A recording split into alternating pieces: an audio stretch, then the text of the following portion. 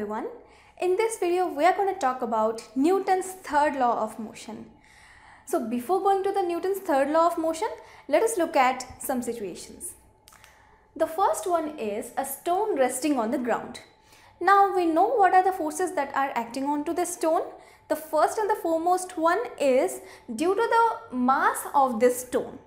A force that the stone exerts onto the ground because of the mass that it possesses and that force is what we call as the force of gravity with uh, which it is attracted towards the earth. So this force is uh, due to the force of gravity which is called the weight of the stone.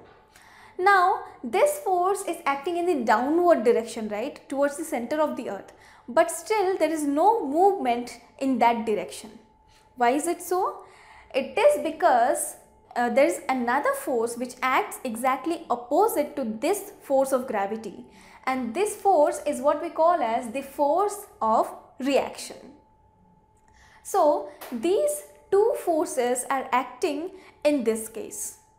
The force of gravity is what this stone exerts onto the ground and the force of reaction is the reaction of the ground to the stone which means that the, uh, the ground exerts a force to the stone back and that force is what we call as the force of reaction. Now the force of gravity which the stone exerts onto the ground is what we call as the action force or the force of action. And in return, the force that the ground exerts onto the stone is what we call as the force of reaction or the reaction force. So here we have a pair of forces which we call as an action reaction pair. So these forces are acting on two different objects. That is the action force is the force which acts on the ground and the force of reaction is what the ground exerts onto the stone. So this force is acting on the stone. So these two forces which constitute a pair acts on two different objects. That is the action force is acting on the ground and the reaction force is acting on the stone. Now these two forces that is the action and the reaction forces are exactly equal in magnitude but they are opposite in direction and that is the reason why they balance each other. We have already learned about balanced forces where the forces are equal in magnitude and opposite in direction and hence they add up to 0. So the net force acting on this stone is 0 since these two forces which are acting onto the stone add up to 0 or these two forces are equal and opposite, equal in magnitude and opposite in direction and that is the reason why the stone is not digging into the earth and moving inside the earth. It is it, it stays at the same position because these two forces balance each other. So the stone stays at rest and in the same position uh, and that is because of these two forces balancing each other. Now let us look at another situation. So here a boy is pushing a wall.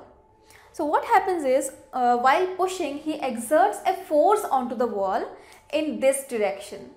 So the force on the wall is in this direction that is towards me and in return the wall exerts a force which is equal in magnitude and opposite in direction to the man or to the boy which is in that direction that is away from me. Now even we have here a pair of forces which the boy exerts to the wall and in return the wall exerts to the boy. We have a common experience of hitting a wall right and we also get hurt when we hit a wall and that is, the, that is because the wall exerts an equal amount of force onto us and that is the reason why we get hurt when we hit a wall.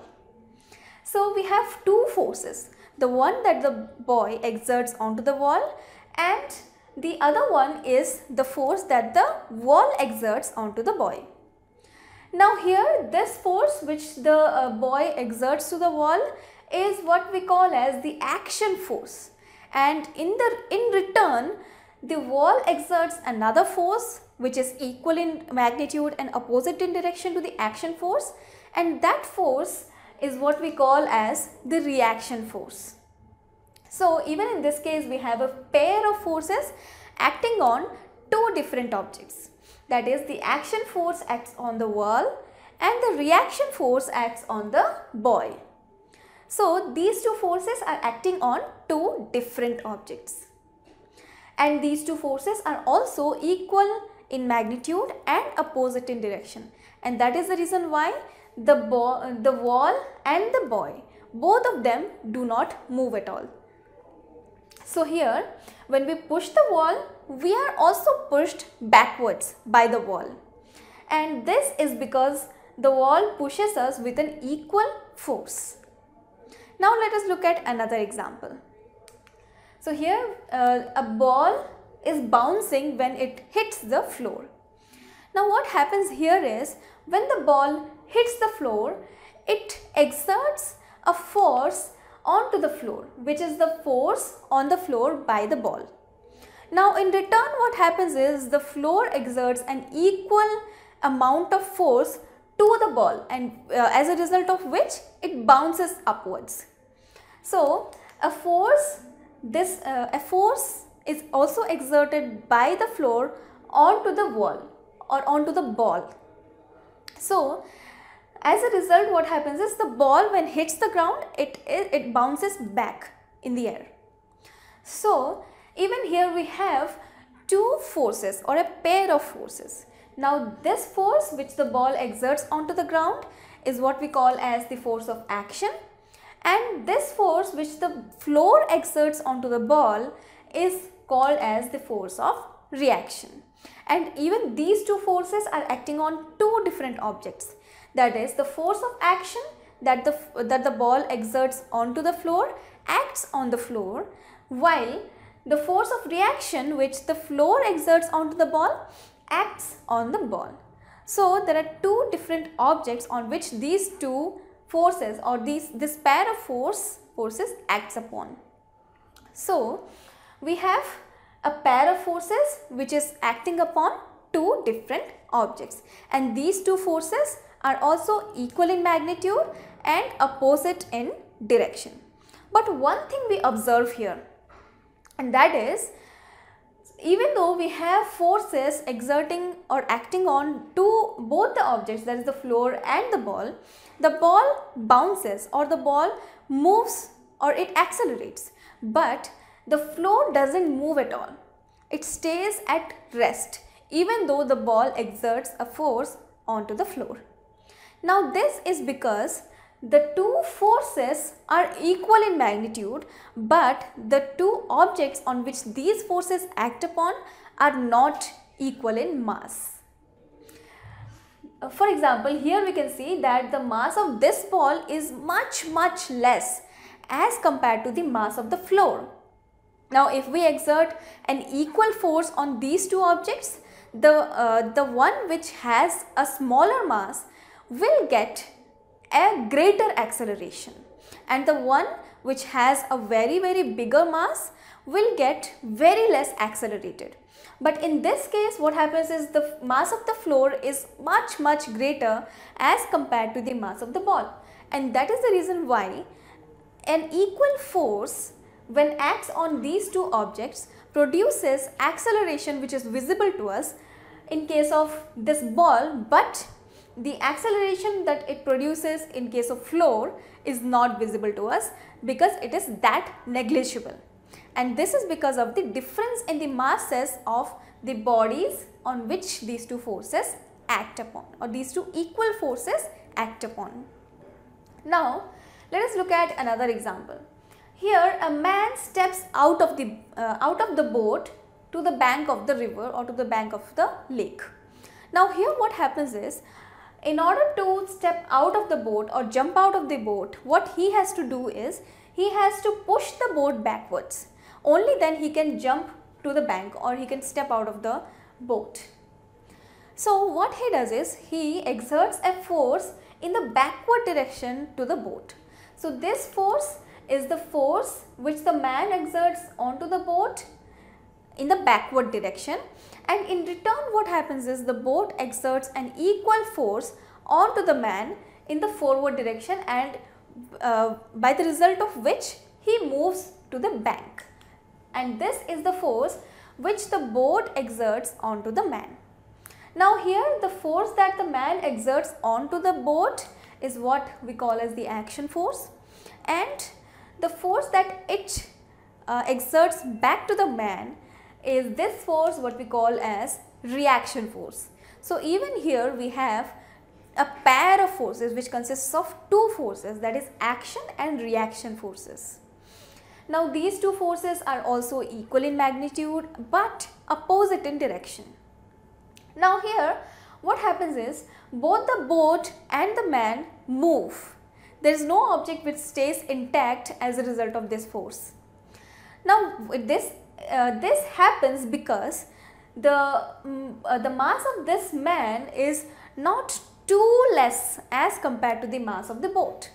And that is the reason why both of them get accelerated and both the movements are visible to us. Now the acceleration that is produced in the man is what brings him to the bank and the acceleration which produces which gets produced in this boat moves it backwards.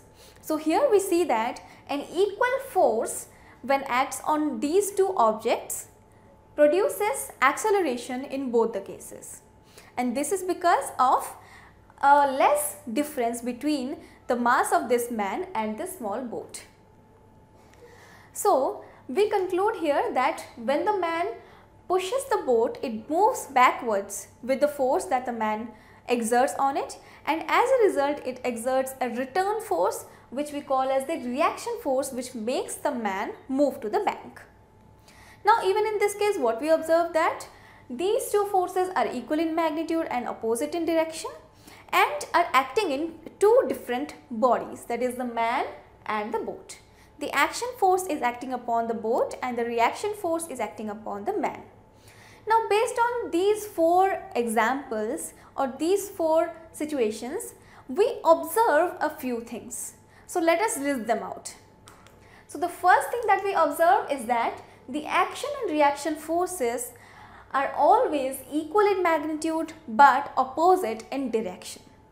And the second thing that we observed was that these forces act on two different objects and they never act on the same object.